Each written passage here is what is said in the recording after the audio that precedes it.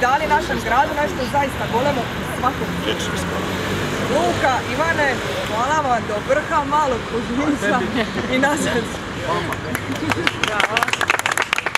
Znači, tu je moja fotografija ovoga puža. Inače, poznat sam po tome šta slikajem, slikajem morska bića, objavljujem to na Facebooku, istražujem more cijeli svoj život. Mislim da, kako me neko opisao u Slobodnoj Dalmaciji, vrlo aktivni zaljubljenik, to će biti novi opis mene na Facebooku. E, tako sam jedan put slikao ovoga puža na Čiovu kod Goske od Trizidnice i nisam ni slutio da će jednog dana biti na velikoj, velikoj zgradi u Splitu. Mislim da bi ovome pužu bilo jako drago da zna da promovira sebe, da promovira svoj okoliš i da šalje jednu poruku ljudima kako, kako mi njemu možemo pomoći da preživi. Ali ne samo njemu, on je samo jedan model u moru, u pličaku naših, naših plaža, ali prirodnih, ne ovih novih nasutih.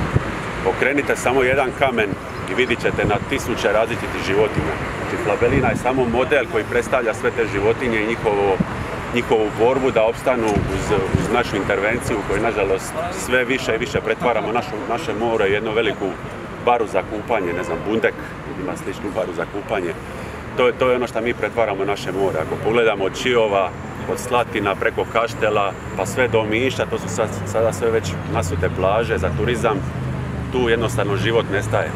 A more nije voda, more upravo čine ta bića, kao što je flabelina i još tisuće njih oko nje. Sada molim Petru Počanić, moju kolegicu iz ove Fadrije, koja je donijela prvi živi mural u Hrvatsku prije 10 dana u Zagreb. Donijela je Zagreb moru i oživjela taj mural. I pokrenula lavinu drugih murala u ove Fadrije.